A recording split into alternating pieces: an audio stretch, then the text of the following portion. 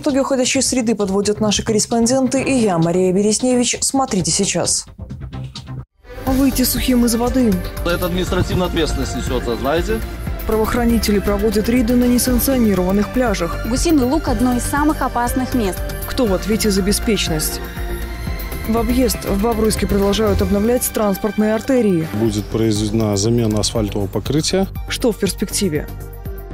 Клубничные трайфлы и персиковое желе.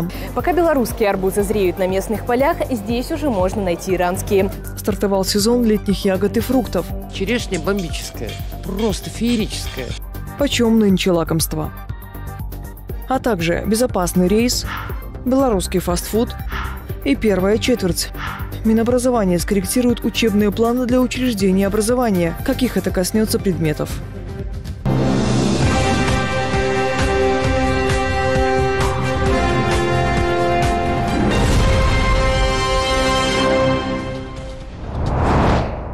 На прошлой неделе в Беларуси утонули 29 человек, только за выходные 13.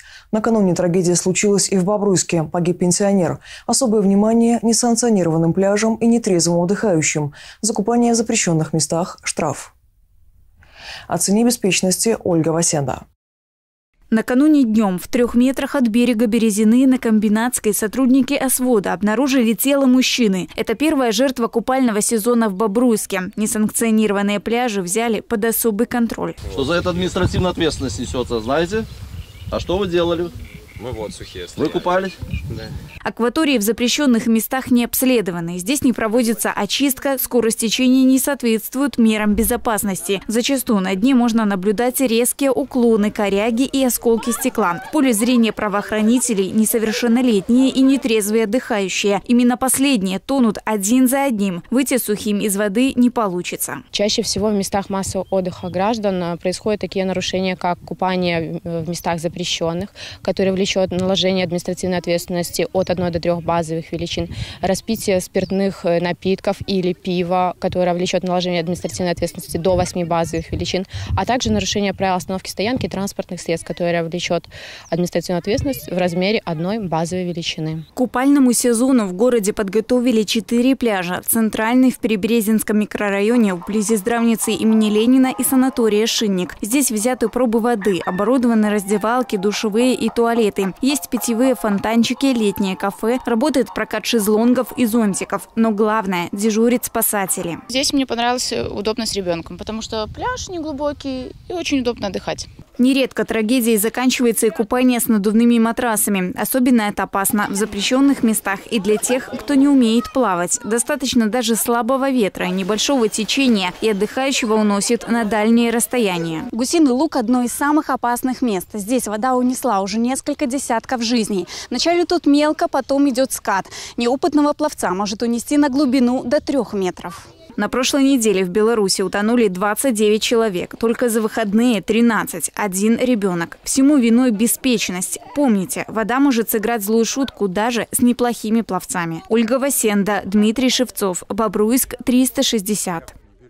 Тариф «Комфорт» в Бобруйске продолжают обновлять транспортные артерии. Сейчас специалисты ДЭПа взялись за Ульяновскую. Трудится на отрезке от 50 лет в ЛКСМ Торженикидзе. Что касается последней, до этого работа кипела на участке от Минска до Кургаза. Апгрейд также на Лесной и во втором переулке Чаплыгина. Обновился асфальт и на Горелика. Будет произведена замена асфальтового покрытия частично и сделана пешеходная дорожка от дома номер 50 до автобусной остановки. В ближайшей перспективе у нас в работу поступит улица Рокоссовского полностью и частично улица Гагарина. Ремонтные работы будут продолжаться все лето. Водители призывают заранее планировать свой маршрут и не парковать машину у обочин, чтобы не мешать специалистам. Школьная форма, туристический поезд и фейковый билет. В Беларуси набирает обороты новый вид мошенничества. До чего дошли аферисты? Громкие заголовки дня далее в специальном обзоре. Минобразование скорректирует учебные планы для учреждений образования. Планируется увеличить количество часов для изучения русского и белорусского, а также литературы. Черчение начнут изучать с 9 класса. Школам также даны рекомендации по разработке своей эмблемы, которая будет нанесена на форму. Первый урок посвятят году исторической памяти. Белави уточнила информацию об отмене ПЦР-тестов на рейсах в Россию. Требование предъявлять результат исследования за 48 часов до вылета сохраняется, несмотря на снятие ковидных ограничений при въезде в страну. Подтверждение должно быть оформлено в приложении «Путешествую без COVID-19». Новый вид мошенничества набирает обороты в интернете, на этот раз через кинотеатр. Один из вариантов девушки под предлогом знакомства пишут в соцсетях и зовут на фильм. Присылают фейковую ссылку на оплату билетов. Самый надежный способ не попасть на удочку – купить квитки в кассах заведений. Туристический поезд впервые отправится из Москвы в Беларусь. Два маршрута через Брест и Гродно организуют в августе этого года РЖД. Стартует состав 5-12 числа. Путешествие будет организовано в формате отель на колесах. Ночью пассажиры отдыхают внутри и передвигаются между городами. А днем осматривают достопримечательности. Белорусский картофель фри будут поставлять в Россию. Заключены контракты с тремя фирмами. Спрос на продукцию отечественного фастфуда заметно вырос после введения ограничительных мер по импорту и усложнения логистических цепочек. Сейчас также ведутся переговоры с предприятиями быстрого питания Казахстана и Узбекистана. С хлебом-солью на следующей неделе стартует фестиваль народного творчества. Венок дружбы пройдет уже в 16 раз. Фестивальные дни с 23 по 27 июня. В программе парад участников, массовое гуляние, выставки, ярмарки, мастер-классы, театрализованные постановки, творческие лаборатории и научно-практическая конференция. Концерты и встречи развернутся как в Бобруйске, так и в других регионах Могилевской области.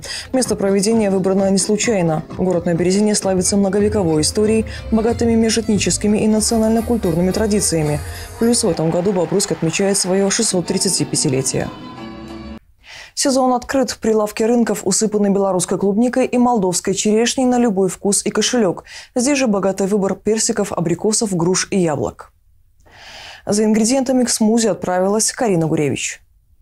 Фрукты на завтрак, обед и ужин – такой рацион выбирают многие в жаркий сезон. Рынки превращаются в рай для сладкоежек. Замену конфетам и выпечке здесь можно найти на любой цвет и вкус. Большинство прилавков усыпаны белорусской клубникой, бобруйской, брестской и любанской. Минимальная цена за килограмм – 12 рублей. Второе место – у черешни. Сейчас идет сезон экзотики. Сейчас удар идет вот у покупателей именно на черешню нектарин, ну, черешня, конечно, сейчас в первую очередь. Черешня бомбическая, просто феерическая у меня. В Бобруйск ягоды привозят из Молдовы и Узбекистана. Самые дешевые обойдутся в 12,50. Варианты подороже доходят до 18 за кило. Рядом груши от 5 рублей. Персики по 12, инжирные по 17,50. Абрикосы 12,5. Зато грушевые яблоки можно приобрести всего за 3. Тут же виноград, апельсины, бананы. Однако лучше отдать предпочтение сезонным фруктам. Пока белорусские арбузы зреют на местных полях, здесь уже можно найти иранские. Средний вес 6-7 килограмм. Цена за один – 4 рубля. Такой обойдется в 25. О пользе фруктов и ягод спорить не стоит. Клубника полезна для зрения и памяти, богата антиоксидантами. Вещества уберегают организм от преждевременного старения. Черешня и вовсе содержит половину алфавита. Всего 100 грамм покрывают 20% суточной потребности в витамине С. Клетчатка помогает пищеварению, а калий укрепляет сердечную мышцу. В этом году успели что-то купить, попробовать? Черешню. Как? Ну, замечательно. После зимы особенно. Очень вкусно. А вообще много фруктов и ягод покупаете летом? Нет, а покупаем нет, у нас просто своя клубника скоро будет, поэтому ждем, пока своя созреет. Арбуз купил, клубнику купил, черешню покупаю, все покупаю. Яблоки свои растут. Употребляю очень много и покупаю, чтобы дети кушали и мы кушали чтобы были все здоровые. Самая лучшая ягода, я считаю, что это голубика, ну и земляника лесная, конечно. Персики покупаю, но только крымский персик. Клубника, черешня и абрикосы хороши в качестве перекуса, но стоит быть осторожными. Они содержат большое количество органических кислот, которые раздражают стенки желудка. Это может не только усилить аппетит, но и вызвать боль. Также не нужно забывать про сахар. Здесь он не менее вреден, чем в конфетах. Самое главное – соблюдать баланс. Все-таки лето – пора смузи и ягодных десертов. Карина Гуревич, Максим Галенко, Бобруйск, 360. Сразу после нас «Сирена» моя коллега Кристина Ариан с обзором криминальных новостей недели. Не пропустите. Это все и события к этой минуте. Смотрите нас в интернете и соцсетях. Мы в эфире каждый будний вечер. Счастливо.